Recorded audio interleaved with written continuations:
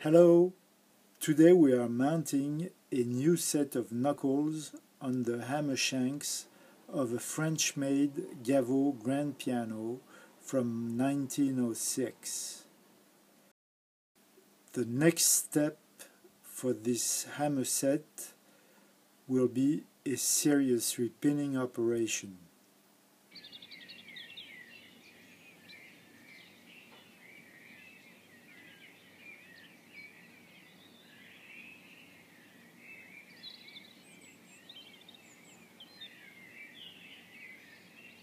We first unglue the worn set of knuckles.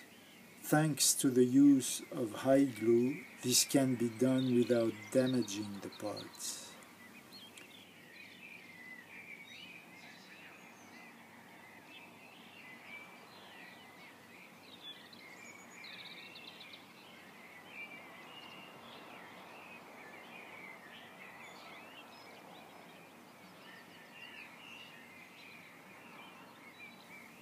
We do a blank test with the new Renner knuckles.